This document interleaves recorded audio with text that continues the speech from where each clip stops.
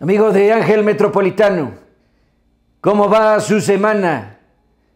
¿Cuántos de ustedes fueron a la marcha de los fifís? Digo, porque no es lo mismo irse de vacaciones a Valle de Bravo o a esos lugares que solo la gente pudiente tiene acostumbrado, que salir a gastar la suela de los zapatos a reforma más marchas como esta para saber que ya estamos moviendo al elefante echado, corrupto, inepto, artrítico y todo lo demás. Así que sigan marchando porque nosotros seguimos avanzando. No hagan olas.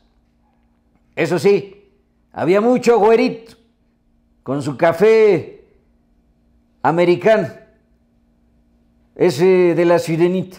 No puedo decir marcas porque me llega la factura muy cara. Y acuérdense que estamos en tiempo de austeridad. Así que, con permiso, tengo que ir con el comisionado del béisbol para que me firme las pelotas. La pejemoña.